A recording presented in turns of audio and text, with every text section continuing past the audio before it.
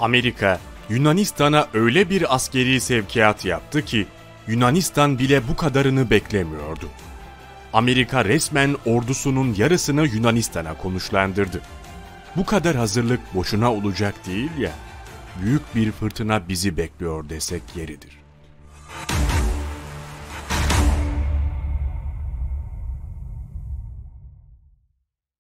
Videoya geçmeden önce beğen butonuna basarsanız çok mutlu olurum. Bu benim için çok şey ifade edecektir.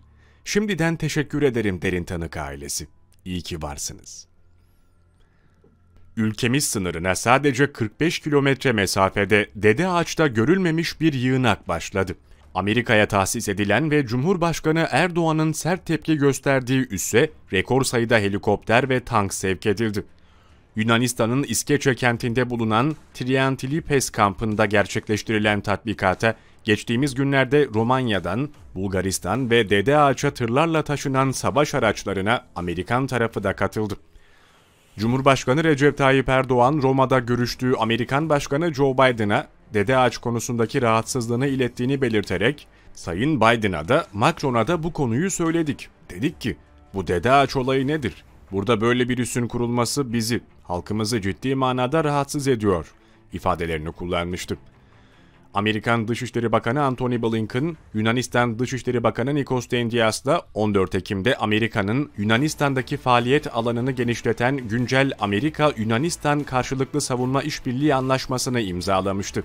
Yunanistan, Meriç'te Türkiye sınırına 45 kilometre mesafedeki Dede Ağaç'ta bulunan kara kuvvetlerine ait Yanuli karargahını üs olarak kullanabilmesi için Amerika'ya tahsis etti. Amerikan finansmanıyla karargahta 300 ila 400 Amerikan askerini barındırabilecek şekilde ek tesisler inşa edilecek. Aynı protokol çerçevesinde ayrıca Girit Adası'ndaki Amerikan Suda deniz üssü sahası genişletilecek. Selanik'e 92 kilometre mesafede Litohoro ilçesindeki atış talim sahası da Amerika'nın kullanımına tahsis edildi. Larisa şehri yakınındaki Stefaneviko askeri havaalanı civarında bulunan Yeorgula Piyade Tabur Karargahı da yine Amerikan Silahlı Kuvvetleri'nin kullanımına verildi.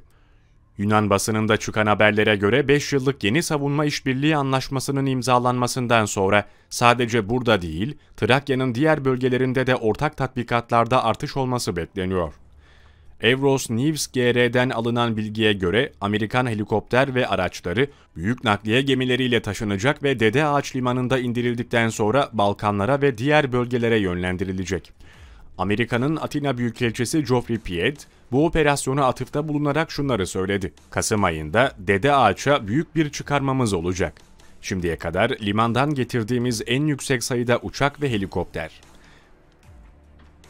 Kasım ayı ortasında Dede Ağaç Limanı'ndan hareket edecek olan Amerikan Silahlı Kuvvetlerine ait toplam helikopter sayısının 120, tank sayısının da yaklaşık 1000 olacağı bildirildi. Son dönemde İsrail ve Amerika ile yakınlaşmasının yanı sıra Fransa'ya da her fırsatta göz kırpan Atina yönetimi provokatif tavrını kısa süre içinde terk edeceği benzemiyor. Özellikle İtalyan basınında Cumhurbaşkanı Recep Tayyip Erdoğan'ın Roma'da geçen hafta sonu düzenlenen G20 Liderler Zirvesi'nin kazananı olduğu yorumları yapılması komşu ülkeyi iyice tedirgin etmiş görünüyor. Yunan medyasında Erdoğan'ın hamleleri acil ve hızlı harekete geçmeyi gerektiriyor ifadeleriyle verilen haberde Ankara'nın hamlelerine bir an evvel karşılık geliştirilmesi gerektiği vurgulandı. Haber şöyle devam etti. Türkiye'nin bölgedeki meydan okumaları Ege'de eylem için Yunanistan'ın yıldırım hızıyla tepki vermesini gerektiriyor. Evros, herhangi bir saldırı hamlesine kapalı olduğundan ne olursa olsun yaşanacaklar sadece adaları ilgilendirecek. Bu nedenle birçok uzman uygun askeri teçhizatla desteklenen subaylar ve ast subaylardan oluşan tam donanımlı bir deniz piyadeleri bölümü oluşturmamız gerektiğine inanıyor. Bu oluşum en kısa sürede herhangi bir adaya doğrudan nakledilebilecek şekilde tasarlanmalı. Bu amaçla gerekli tüm lojistik altyapının, nakliye, saldırı helikopterleri, modern tanklar, TOMA, modern silahlar, uçak savar fırlatıcılarının hazır olması ve uçaklarımızla desteklenmesi gerek. Bu adalar bölgesinde yaşanabilecek olaylarla başa çıkmanın ve niyetimizi belli etmenin en iyi yolu olarak tercih edilmeli ve olası bir saldırı daha gerçekleşmeden önlenmeli.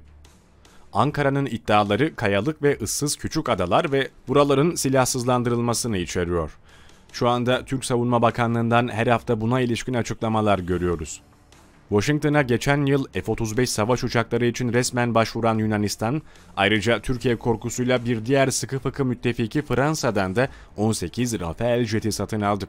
Yunan basını bu jetlerle ilgili provokatif bir iddiada bulundu. Özellikle erişim yasağı ve engelleme ile ilgili teknolojik gelişmeler göz önüne alındığında Rafael için bir F-5 standardının geliştirilmesi gerekli olacak denilen haberde jetin nükleer silahla donatılmasının planlandığı vurgulanarak her halükarda jetin nükleer caydırıcılık potansiyeli onu Ankara için endişe noktalarından biri haline getiriyor denildi.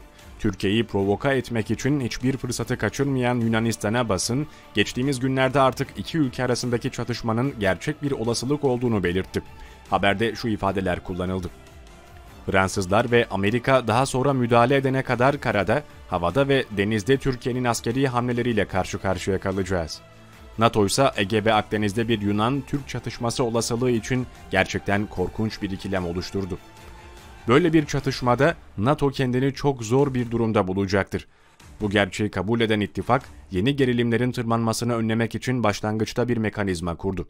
Ancak bu mekanizma iki ülkenin denizcilik farklılıklarını çözmelerine yardımcı olmadı ve NATO taraf tutmaktan kaçındı.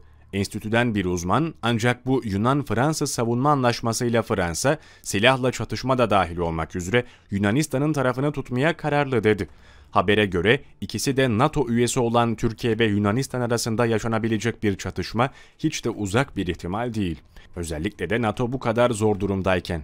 Türkiye ile Yunanistan arasındaki çatışma gerçekten de mümkün ve böyle bir şey olduğunda NATO'nun bunu durdurmak için sahada en ufak bir şey yapmayacağı neredeyse kesin. Türk Tuğ General Nejat Eslen, NATO'nun artık sadece Yunanistan gibi ülkelere hizmet ettiğini vurguladı. Bugün Rusya'ya karşı yeni cephe olan Polonya, Romanya, Bulgaristan'ın da NATO nezdinde öneminin arttığına dikkat çekti. Eslen, dolayısıyla bugün NATO'nun çekirdeğinin Amerika, Birleşik Krallık, Baltık ülkeleri, Polonya, Romanya, Bulgaristan ve Yunanistan'dan oluştuğu söylenebilir diye konuştu. Aslında ittifak Amerika'nın 2. Dünya Savaşı'ndan sonra kurduğu ve öncelikle Amerika'nın güvenlik çıkarlarına hizmet eden yeni dünya düzeninin kurumlarından biridir diye konuştu. NATO, Ankara'nın Kıbrıs, Suriye ve Libya'daki hamlelerine izin verdi. Şimdi de aynısını Kıbrıs'ta yapıyor denilen haberde Yunan Silahlı Kuvvetleri'nin olası bir savaşa hazır olduğu iddia edildi. Müttefiklerini Ege Denizi'ne davet edip Sakız'dan Meis'e kadar Türkiye kıyısındaki adalarda ateşle oynayan Yunanistan'da medya kıyamet başlıkları atıyor. Yunanistan'ın Rafael jetleri ve Belhadra savaş uçakları satın aldığı Fransa ile yaptığı savunma anlaşması bugün parlamentoda milletvekilleri tarafından oylanıyor. Anlaşmayı parlamento kürsüsünde savunan Yunanistan Başbakanı Kyriakos Mitsotakis, paktın üçüncü bir ülkeden gelebilecek bir saldırıya karşı ortak savunmayı da öngördüğünü açıkladı. Yunan milletvekiline seslenen Miçotakis, üçüncü bir tarafın iki devletten birine saldırması halinde askeri yardım olacağı ilk kez net bir şekilde ifade edilmiştir ifadesini kullandı.